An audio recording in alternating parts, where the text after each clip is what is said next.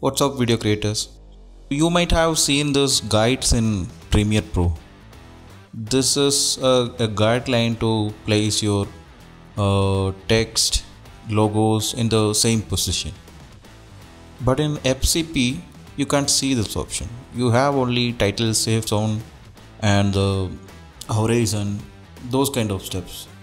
But there are many third party plugins available in the market. You can use that here I'm showing you a simple and quick method to create these guidelines in FCP itself. So you don't need any third-party plugins for that. To create the effect, go to generators and click on solids, drag the custom and if you want you can change the color. I'm changing it to cyan. I think this is the same color for guidelines in Premiere Pro. Now go to crop I'm cropping it like this. These are horizontal lines. For vertical lines I'm going to create a copy. Again go to crop. I'm cropping it like this.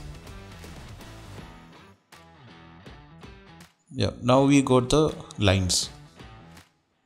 You can click on the transform and uh, you can move it around the timeline only thing you need to remember when you are exporting the video you need to disable the layers we created.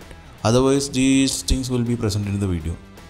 You can uh, right click on the timeline and click on disable or you can simply press the V button in your keyboard.